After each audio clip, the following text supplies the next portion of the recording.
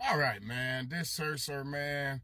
I know you can see, hey, gold nose. You're damn right. Hey, born bred. Well, I'm not born here, but I'm bred here. Now, um, this guy, Democratic Representative Bowman, Jamal Bowman, was running late to make a vote before they shut down the government.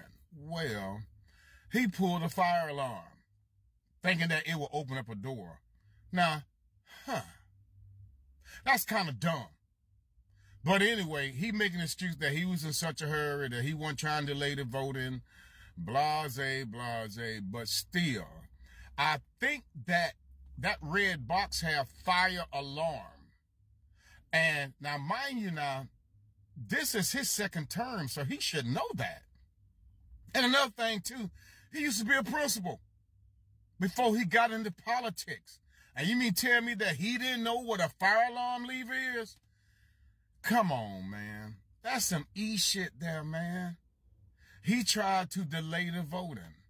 And he lied and said that he was in such a hurry. But man, if you done been a principal, you know, and this your second term, you should know better. That ain't the first time you going in a voting since you did this is your second term. I think it's all E shit, man. But hey, man, leave a comment.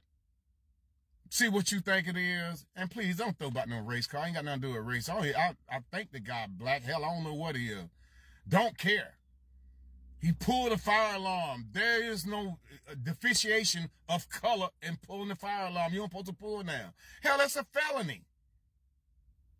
Leave a comment, like I always say, Antonio Stevens 79, Sir Sir 58. I'd like to hear your comment on that because I think that's kind of uh, redundant in what he said. I really do. Sir Sir Network out.